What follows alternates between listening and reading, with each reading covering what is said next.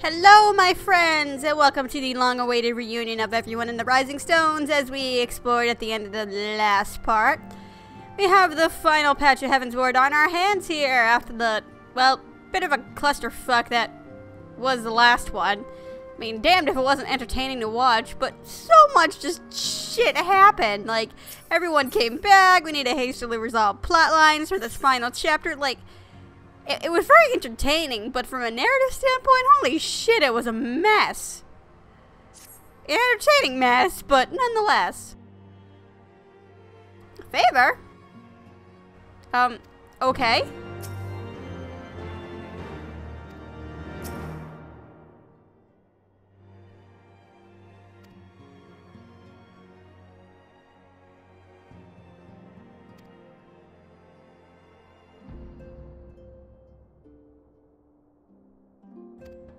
Alright. Okay, you guys still say the same thing. Alright. What do you two have to say for yourselves? Okay, so you don't say anything different? Okay, and you know, nobody else says anything different. Okay, fine. Fine, fine, fine, fine, fine. I mean, technically I've only been gone for five minutes, but... Okay, I'm here. Why did I have to come all the way over here? What's going on?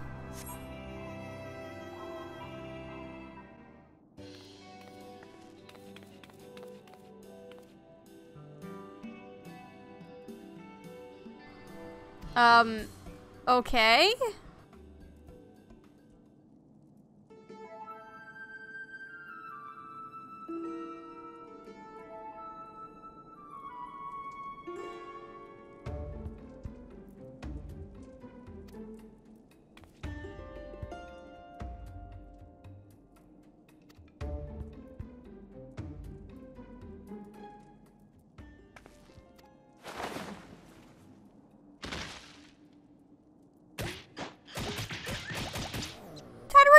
Just asked.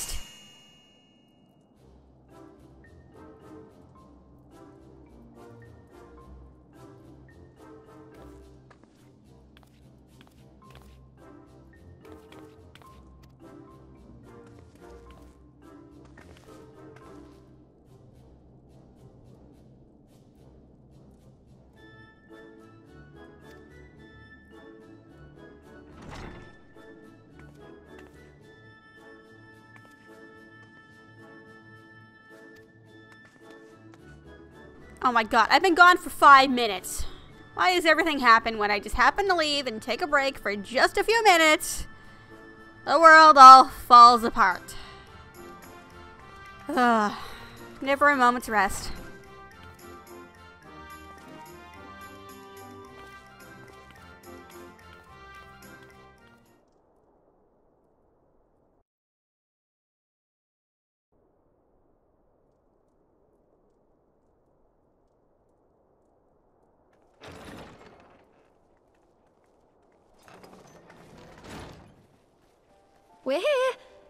Miss anything? Uh, uh, where's Tataru? Uh, she is a member. We would not presume to begin without you, Yda. Urianger has returned to the Waking Sands, but everyone else is now present. Uh, uh, yeah, Tataru. Yes, but for what exactly? We all have duties to attend to, Alphinaud, so you may dispense with the preamble. Uh, she isn't a student member of this group. Why is she not at this meeting? Thank you, Alisaie. It is the very subject of those duties which compelled me to call this gathering. Though the warriors of darkness no longer pose a threat, Eorzea's many troubles demand no less of our attention. And while I stand by the decision to approach each task as we see fit, I fear our effectiveness will ultimately be diminished should we continue to act in ignorance of each other's efforts. Thus, I propose we elect a successor to Minfilia. Not to serve as a fully fledged antecedent, perhaps, but as a coordinator of operations. I'm still voting for a group dinner first Wednesday of every month. Is that all? Oh, then the decision seems clear. No one else has shown any enthusiasm for the role, and judging by your performance at our previous meeting, you would seem the perfect candidate. You always did have a flair for politics. Wait, wait, wait, wait, wait. Hold on, hold on, hold on, hold on. Did she just willingly nominate him to effectively be their boss?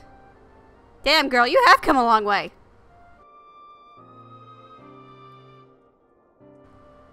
Oh my god, look at that grin on Krile's face. Uh, I, I did not mean to. That was not my intention. Oh, oh come on. Alphinaud, can I have Sassy Pants you back again for one minute? As my tenure as commander of the Crystal Braves comprehensively demonstrated, I lack the qualities required for such an office. I would much prefer to remain as I am now, a soldier in the field, so to speak. Alphinaud, okay, no, no, seriously, you've been through plenty since then, okay? You've learned your lesson, alright? You, you seem to have lost, like, all your pride and confidence from that. Together, we have climbed to the peak of Sohm Al. We have befriended Hraesvelgr. We have rid the world of Nidhogg forever. We have done so much goddamn stuff together that no one can even compare to.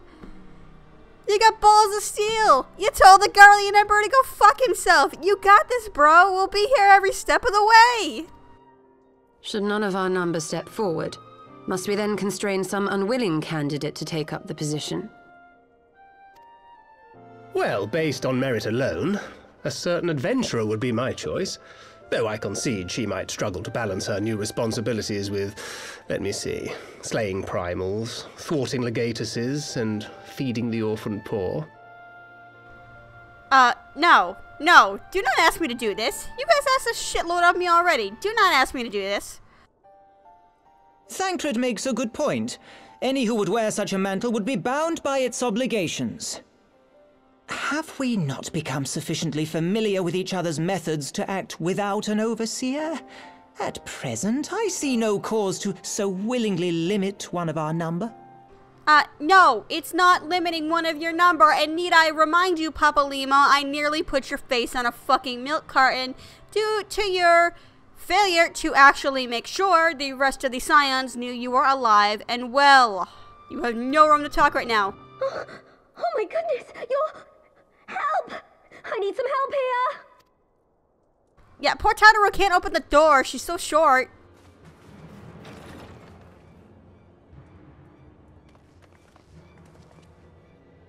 Tataru, are you all right? No, she's not alright. You threw. You didn't let her in the meeting. Me? I'm fine. It's this poor girl who just staggered in and collapsed on the floor that I'm worried about. Where the hell is everybody else? There's other medics in this room. Narco! God, how did... You Y'shtola! Please, you have to help her! Krile, a hand if you would. Let us see about closing these wounds.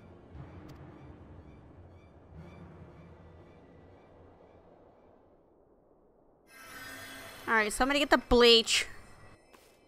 Now, we've staunched the bleeding, but it may be a while before you can move about again. Though, having seen your wounds, I'm surprised you are still moving at all. Can, can we get her a glass of water or something? Thank you. My message. It was too important to delay.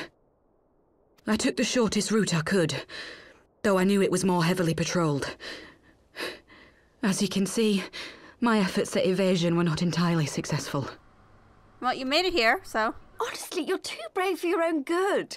What was so urgent that you needed to fight half the Empire to get here? You could have been killed. I'm sorry, Yda.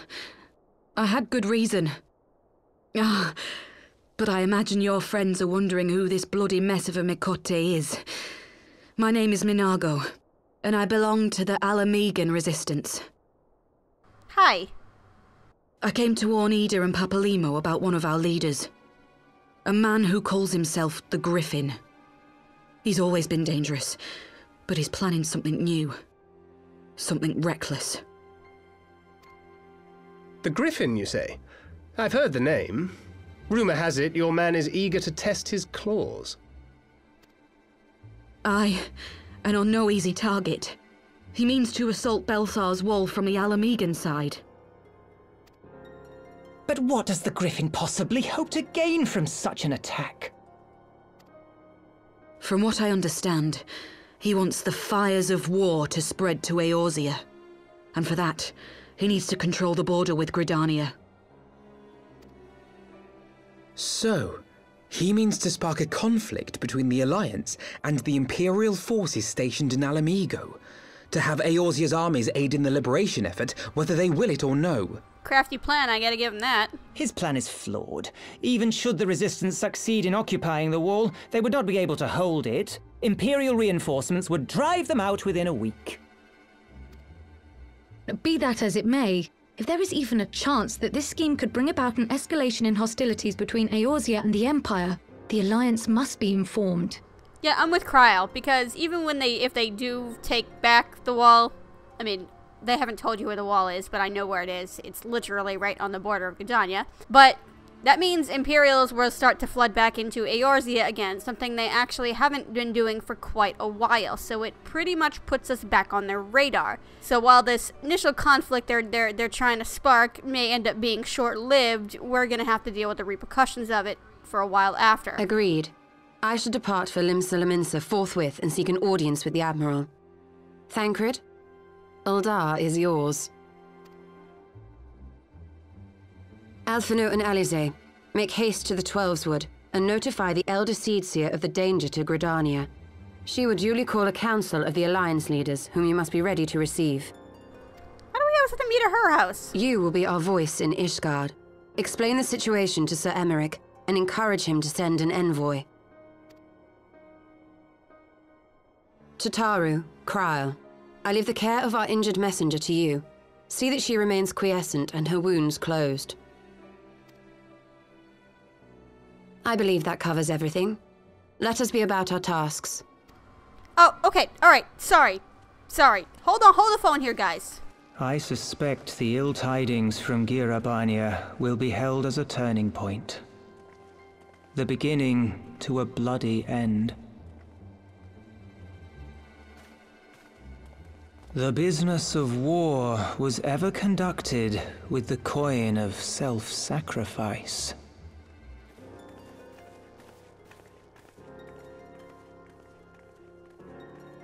'Twas Master Louisoix himself who taught us that such costs are not to be ignored or denied.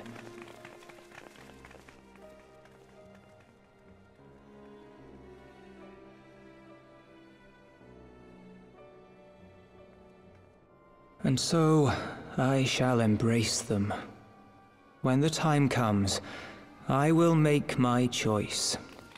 As you will yours. Yeah, Papalima, Papalina, I'm trying to explain something here if you could expositing for a moment. We literally just came out of a meeting to potentially elect a new leader. Okay? Now, it wasn't meant to be a leader in the full capacity, but at least it needed to be someone to, you know, like, like delegate, coordinate our information with, and when push came to shove and our forces were divided and we had to, you know, bring together and call, hey, emergency, everyone stop what you're doing, it needed to be somebody we agreed on and somebody we could trust. Okay? Fine. Y'shtola, what the fuck were you just doing just barking out orders to everybody there? I'm sorry, if you wanted the position of leader and having the privilege to do that, you could have nominated yourself. Nobody else was willing to step up and do it. You had the perfect opportunity right then and there. Writers, why did you let this happen? The scene literally just happened. It wasn't like in between patches. If at least it was that, I could understand because people forget from memory might forget about that. But we just got interrupted out of that meeting. There was no point in having such a meeting and having Alphinaud turn it down only to no one else step up to have somebody else 30 seconds later start barking orders at everybody. I'm, I'm sorry. Like, I actually really don't even like that I'm that I'm hating on Y'shtola so damn much, but the writers are really making it difficult for me to like her. And it's because of crap like this. Like, do I disagree with the order she gave? No. But she's acting like she's suddenly in charge of everything, and that would be completely fine if, again, we just didn't literally burst out of a meeting in the middle of such a discussion.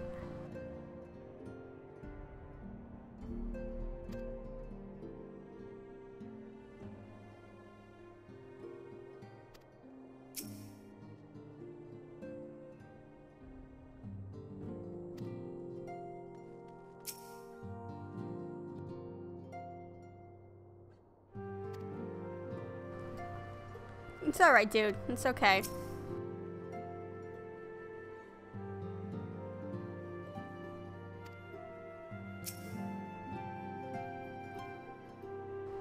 Oh, they kind of studied in Sharlayan. They, they kind of have a bit of an advantage over you guys because they're nerds, okay? They, like, just study crap for, like, a living.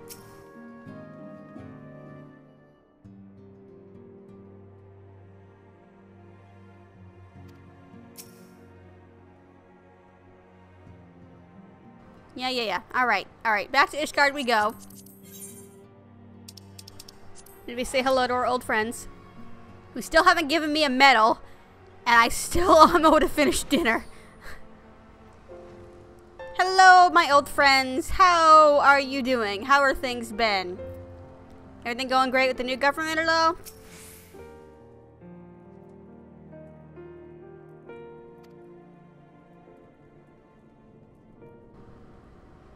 You know, after all I've done for Ishgard, you'd think I'd be give given privileges to barge through that door by now.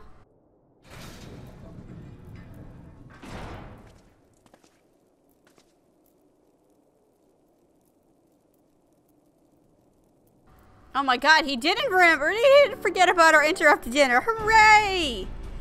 Yeah, we'll have time for that later, but I'm, I'm glad you didn't forget.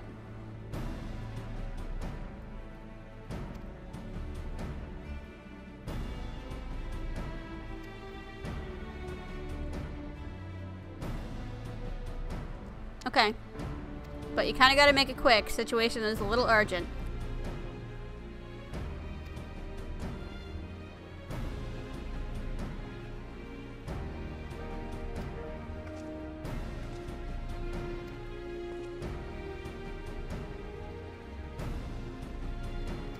Wait, wait, wait, wait, wait, wait. Hold on. Hold the phone here, Ceramics. Or hold the phone. Are we jumping the gun a little bit here? You don't know who you're sending yet. So therefore, you will be in the city to command it. Are you not still Lord Commander of the Temple Knights? Whatever.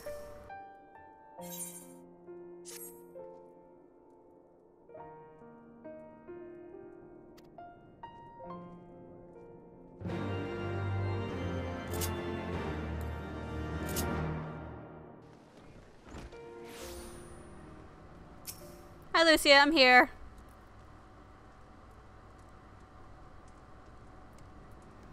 Yeah, that wouldn't surprise me either, hence why he further pulls the command of the city rank down, even though he has not been officially nominated, nor did he say that, yeah, I fully intend to go, but I need to actually talk this over first. The tiny little detail that, that would have made that context make a little more sense. Just a little.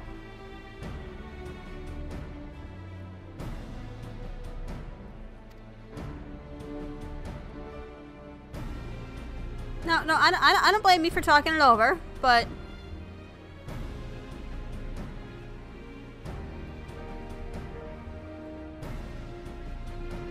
Alright, alright, alright.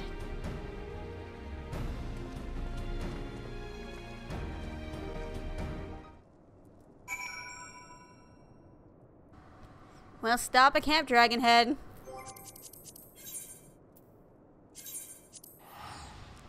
Count actually did end up, well, the former Count, who still has the title of Count above his name, because the game is silly, has actually nominated and or elected somebody new to run this place, huh?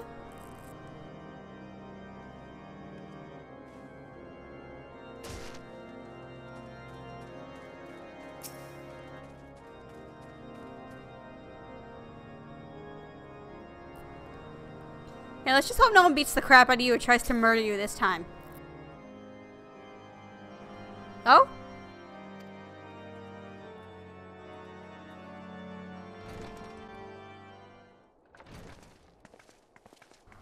Oh, hi!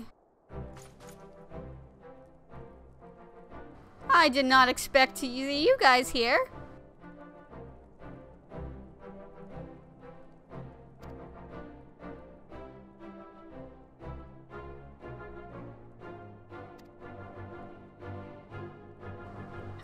Gonna actually make her useful in a cutscene!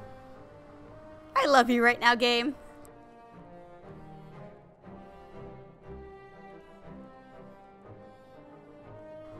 Nice save, brah. Nice save. Although I'm sure she would have taken no offense.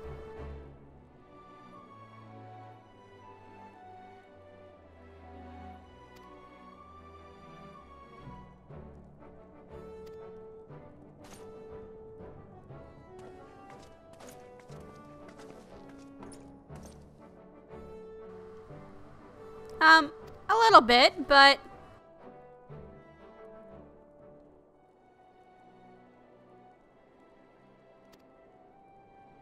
Oh, there's a painting of him. That's so sweet.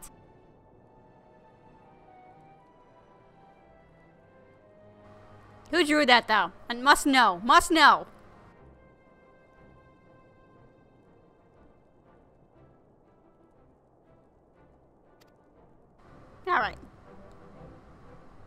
You, you just stay the course, bro. Alright? You can totally do this. But you need to stay the course for me, okay? Alright? I have faith in you, bruh. Now don't you go wandering off. Take your responsibility seriously, okay?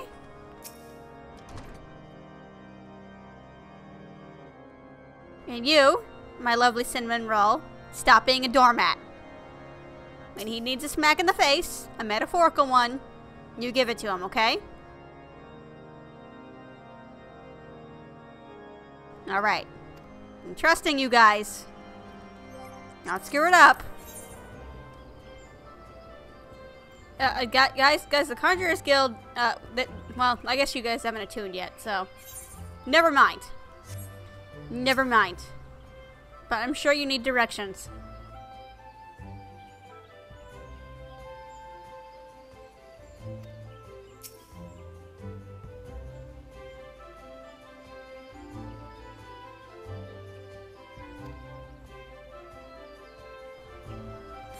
Oh, this pales in comparison to the churning mist, man. Alright, so that's going to be it for this episode. We have a lovely meeting ahead. Hopefully everybody else will be here shortly, even if we do need to escort them over to the Lotus stand. But I'm sure we're going to enjoy the walk along the way. Maybe partially, somewhat continue our hot date in the process, I guess. Probably the closest thing I'm ever going to get to finishing that thing, but I'll take what I can get at this point. Thank you for watching, friends, and I will see you next time.